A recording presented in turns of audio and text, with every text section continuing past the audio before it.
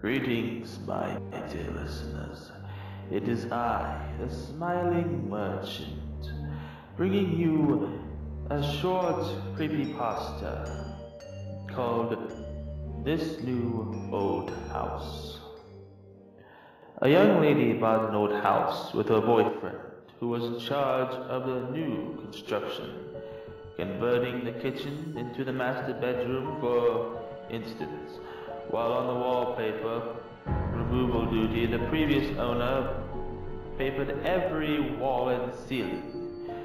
Removing it was brutal, but oddly satisfying. The best feeling is getting a long peel. Similar to your skin when you're peeling it from a sunburn. I don't know about you, but I kinda make a game of peeling on the, the hunt the longest piece before it rips. Under a corner section of paper in every room is a person's name and a date. Curiosity got the best of me one night, and I googled one of the names and discovered the person was actually a missing person. The missing date matching the date under the wallpaper.